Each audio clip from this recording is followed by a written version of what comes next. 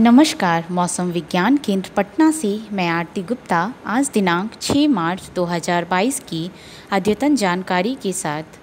विगत 24 घंटों के दौरान प्रदेश का मौसम पूर्वानुमान के अनुसार शुष्क बना रहा एवं आसमान मुख्यतः साफ़ रहा। सबसे कम न्यूनतम तापमान 12.4 डिग्री सेल्सियस औरंगाबाद में दर्ज हुआ।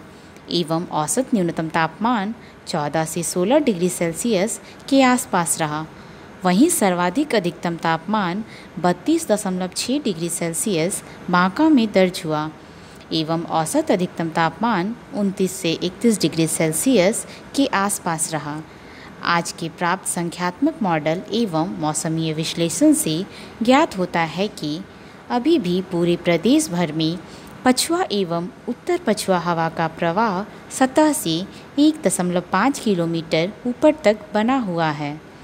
इन सभी मौसमी कारकों के प्रभाव से अगले पाँच दिनों तक प्रदेश का मौसम शुष्क बना रहेगा एवं आसमान मुख्यतः साफ़ रहने की संभावना है। जबकि अगले तीन दिनों तक दिन एवं रात के तापमान में कोई खास बदलाव नहीं होगा। तत्पश्चात दिन एवं रात के तापमान में क्रमिक वृद्धि होने की संभावना है। धन्यवाद।